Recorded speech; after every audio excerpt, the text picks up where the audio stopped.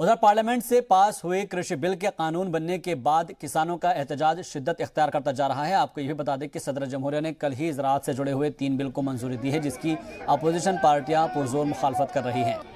कांग्रेस ने एग्रीकल्चर कानून को काला कानून करार दिया है और कहा है कि काला कानून को महाराष्ट्र में नाफिज नहीं होने देंगे। दूसरी तरफ़, जराई कानून के खिलाफ मुल्क भर में किसान और ताजिर तंजीमें लगातार एहतजाज कर रही है। मुख्तलिफ़ रियासतों के कई अजला में अपोजिशन जमातों ने एहतजाजी मुजाहरा किया। पंजाब के किसानों का तहरीक दिल्ली तक पहुँच चुकी है और किसानों ने कई मकाम पर एहतजाजी मुजाहरा किया, जहाँ पर अलामती पुतले नज़र आतिश किए गए।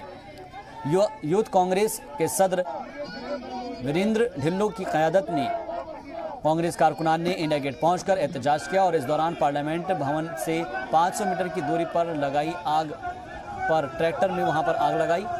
जबकि कर्नाटक में किसान और ताजिर तंजीमों ने आज से बंद की अपील की है, जिसका मिला जुला असर दिख रहा है। लोगों को परेशानियों का इसके सबक सामना भी करना पड़ रहा है।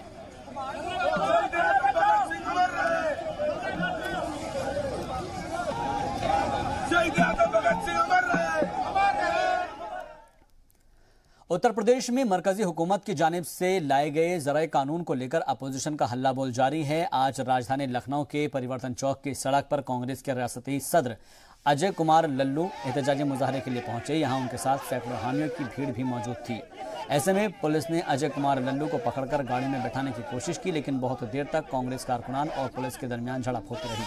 हालाँकि काफ़ी कोशिशों के बाद पुलिस किसी तरह से अजय कुमार लल्लू को गाड़ी में बैठाने में कामयाब रही और उन्हें वहाँ से ले गई। इतनी देर में कांग्रेस कारकुनान ने यहाँ जाम लगाकर ज़बरदस्त हंगामा किया।